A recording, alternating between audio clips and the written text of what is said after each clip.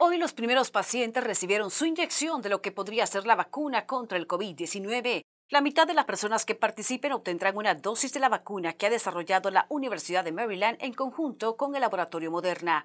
La otra mitad recibirá una sustancia que carece de actividad farmacológica pero que puede tener un efecto terapéutico. Expertos enfatizaron que no hay nada que temer. Una persona no puede contraer el virus a través de esta vacuna. No es posible lo que es la vacuna eh, y, las otras vacunas también hacen pensar al cuerpo que se está encontrando con el virus, pero no es así. Se tiene previsto que 30.000 personas participen de este estudio en Estados Unidos. En el ensayo que promueve la Universidad de Maryland y la organización CASA participarán 500 personas. Los que están interesados llaman aquí a casa y después lo pueden llamar a la Universidad de Maryland y se repasa con ellos una serie de preguntas. Eso se decide si la persona corresponde a los criterios o si no corresponde.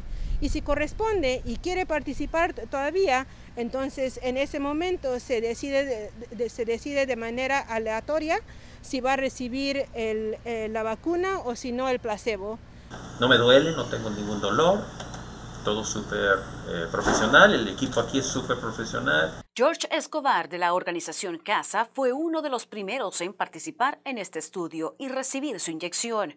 Ahora debe seguir un proceso de dos años que mayormente se conducirá por teléfono. Muy importante que tengamos buena representación de nuestra comunidad, que, se, eh, eh, que alce la mano y que haga esta prueba para asegurarnos de que va a ser eh, que están produciendo una vacuna que sea efectiva, que sea eh, sana eh, y que sea accesible para toda nuestra comunidad y que todos se beneficien de ella.